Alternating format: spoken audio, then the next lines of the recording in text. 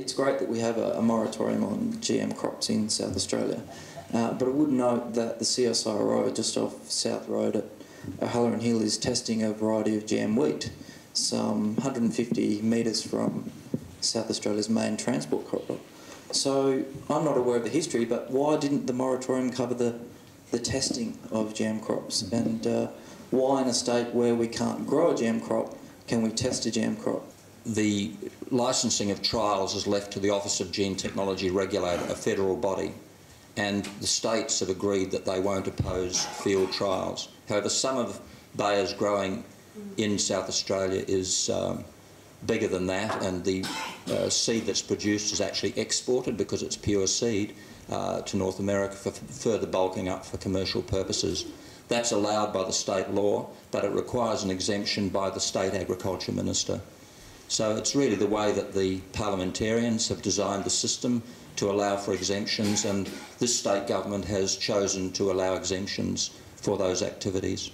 Don't you think that we need something that's more comprehensive and helps all the people who can't necessarily afford to have uh, buy organic food, can't necessarily afford to, afford to buy more expensive uh, specialty products, and uh, especially people in other countries, if we're exporting this technology, uh, don't you think we need something more comprehensive um, rather than relying on people to just spend uh, extra money uh, not to have to eat dangerously unhealthy food? Food labelling is important because it gives consumers uh, a choice it raises it as an issue because that way uh, it engenders public debate.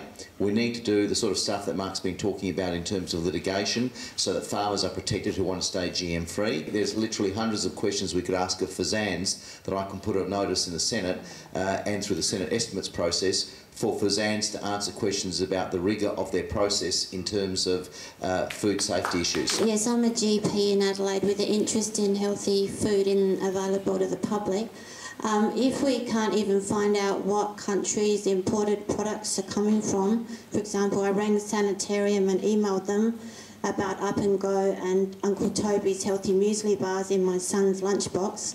I was told I can't even find out what countries the imported products come from. If we can't even find that out, how can we find out if there's um, GM modified um, in the imported products. The labelling laws, as they are at the moment, uh, if a food that's come from a GM crop has actually been refined into an oil, for example, then it doesn't have to be labelled. Um, if you feed an animal GM feed, then the products from that animal also don't have to be labelled. So the meat and the milk and the eggs and the stuff don't have to be labelled that comes from it. The labelling laws just need to be upheld the way that they're meant to be in order for these things to be labelled. And in places like um, Europe, uh, things like oils do need to be labelled. Manufacturers are able to get away with almost anything if there's no policing of the labelling laws. How do you decontaminate after GM? Has anyone really tried to do that and how successful has it been? Uh, when my paddock uh, was contaminated with half a percent of GM canola, I was able to spray it the next year uh, with a 2,4-D, which took out any seed that was growing. But you can have volunteer GM canola coming up at least six years. In Tasmania, they had it 10 years coming up. One of the biggest marketing of rolled oats is Blue Lake Milling at Bordertown. They don't want to buy anything that's got canola or GM canola in it because they are frightened that something will come back in the future and affect their marketing and they'll get sued. They have a premium product that they sell all around the world and they don't want it contaminated. What do you need from us? Like, is there anything we can do to help you promote this issue, like to our MPs or you know, what can we do? I think what we need to do, we need to have a plan of action in terms of some positive changes to the law. We need to chip away at this, food labelling, strict liability, um, further testing of FSANZ, and we need to do all that in concert.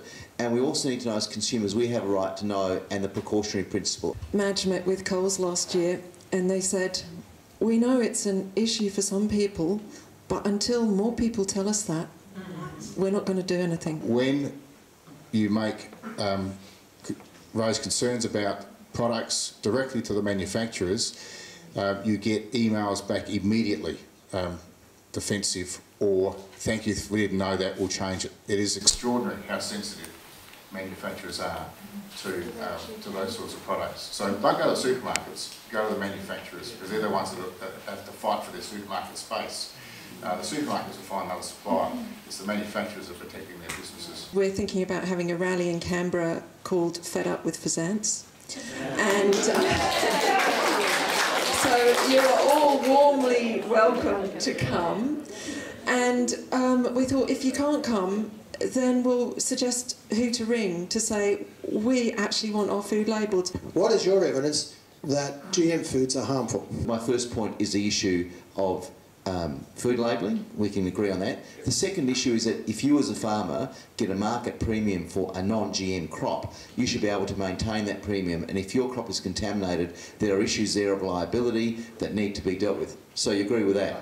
Okay, good. Okay, so um, so that's two. They're, they're, they're two big reforms. So I'm glad you know they're, they're two big reforms that we need to look at. The third issue is that I think that FSANZ as a regulator needs to do more in relation to this. The company that makes the grain has a patent on it, which means that if I, as a researcher, want to go and buy some of that grain from a, a grain producer, um, I can't do it. They won't let me do it. There's a clause in there that says when you buy this from this seed uh, releaser, this uh, seed merchant, you're not allowed to do any research on it. You're not allowed to give it to anyone else to do research on either.